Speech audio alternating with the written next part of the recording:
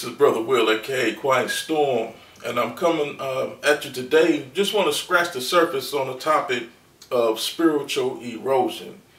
Now, if you Google the word erosion, you're going to see images of like rocks and solid things that have now become warped or out of balance simply because there was a force, normally water, that's been repeatedly uh, moving against them or repeatedly coming against them.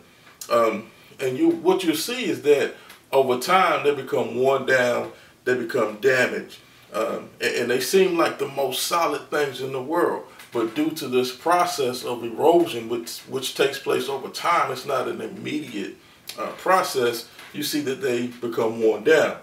So so basically, if I just give you a simple definition of the word erosion itself, it's basically uh, something that has been worn down or something in which an outside force has continually moved against it and caused damage or caused parts of it to be out of place, right? And so that's what happens to us spiritually at times if we don't take the right precaution. Um, so if you look at those images, you're going to see like the natural example of erosion. But what I want to do today is just sort of tie that in and um, show you how that also works in the spirit realm and how you can become spiritually eroded if you don't use the proper tools, the proper spiritual tools and weapons that God gives.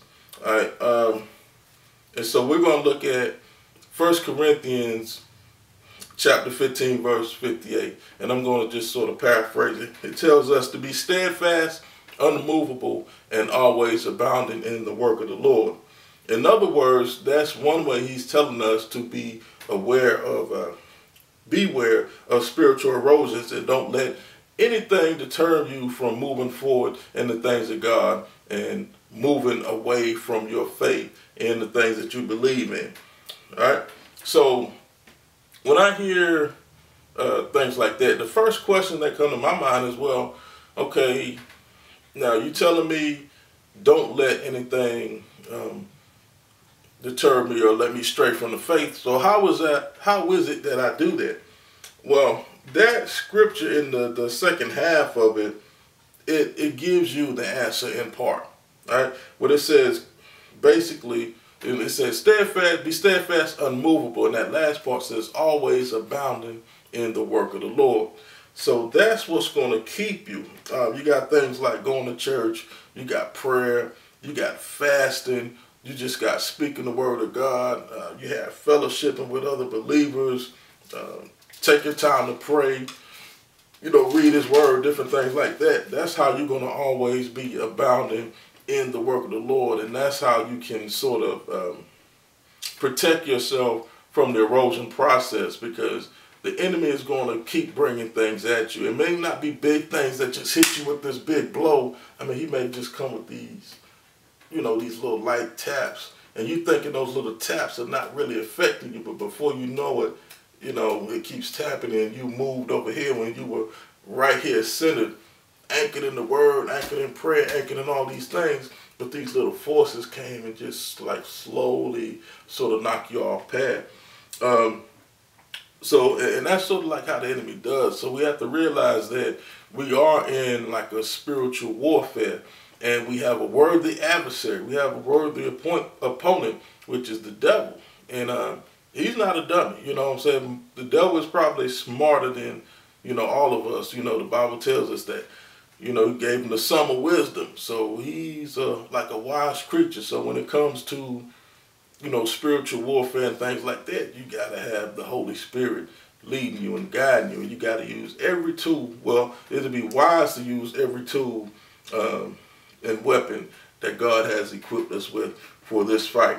Uh, another verse, Proverbs 4 and 23, and I'm going to just run through these stuff real fast. Um, it tells you to guard your heart.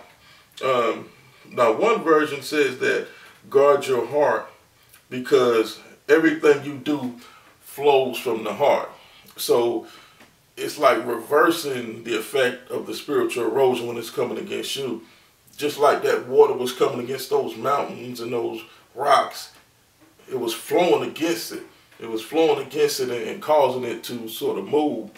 we use that and we flip it. So when we, we let the word of God flow through us, when we let prayer and speaking the word and let positive things flow from our heart, it's the reverse effect. Because now when we do that, we're going against the enemy and his kingdom. We're we're eroding his position.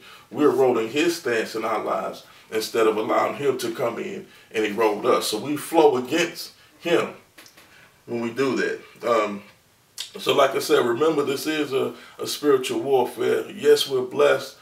Uh, you know, God loves us and he wants to see us to have the best, but at the same time, we still have to remember that, you know, we are soldiers in the army of the Lord, and this is a warfare, a spiritual war. So we have to keep that in mind too.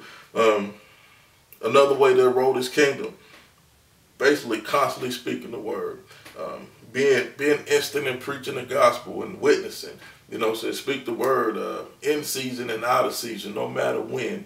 You have to be ready to uh, speak the word of God to your situation. Uh, pray without ceasing. Continue to give God praise. All of these things can sort of defend you uh, against the spiritual erosion in the way that the enemy is going to attempt to be coming against you.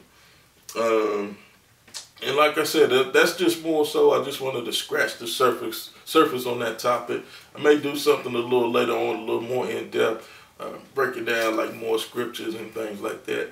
But like I just wanted to get something just to to have you thinking about it